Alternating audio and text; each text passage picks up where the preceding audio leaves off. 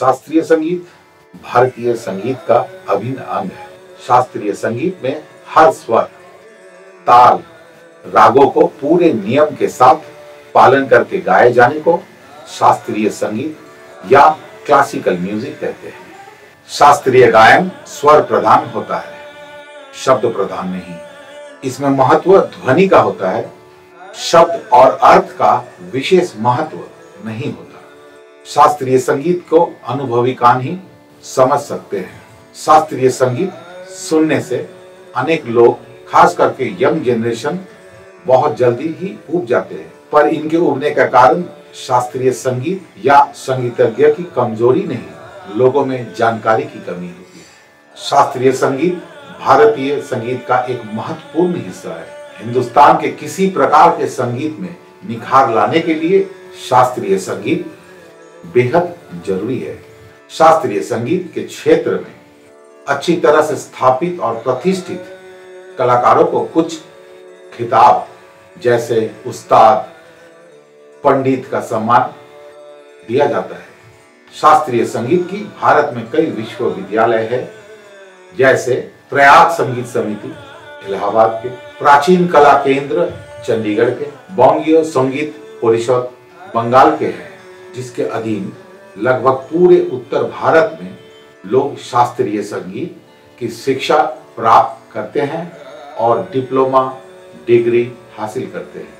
इन विश्वविद्यालयों से degree, diploma हासिल करने पर स्कूल, कॉलेज या अन्य शैक्षणिक संस्थाओं में संगीत शिक्षक बन सकते हैं। देश विदेश में कार्यक्रम प्रस्तुत कर सकते हैं, जिसमें अच्छी खासी नाम, शोहरत और रोज़गार कमा सकते हैं। भारत स्वतंत्र होने के बाद से ही संगीत का प्रचार बढ़ गया है। स्कूल, कॉलेज तथा पाठ्यक्रम में भी सम्मिलित हो गया। संगीत की प्रचार पूरे विश्व में दिन ब दिन बढ़ रहा है, जिसमें भारत सबसे आगे है।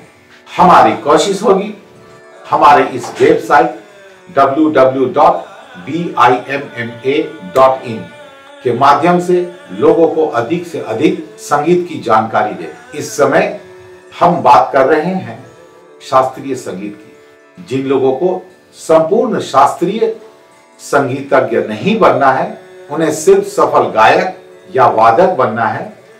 उन लोगों को शास्त्रीय संगीत का ज्ञान देते हुए उतना ही अभ्यास कराना है, जितना कि एक सफल गायक या वादक बनने के लिए होना चाहिए। जैसे अलंकार अभ्यास कराते हैं, रागों की पहचान, ताल की पहचान और स्वर को संवारना होता है। हमारे इस वेबसाइट www.bimma.in में सभी विश्वविद्यालयों की सिलेबस दी गई है।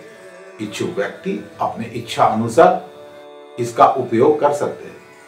हम समय समय पर अपने सब्सक्राइबर को और भी संबंधित जानकारी उपलब्ध कराते रहेंगे। धन्यवाद।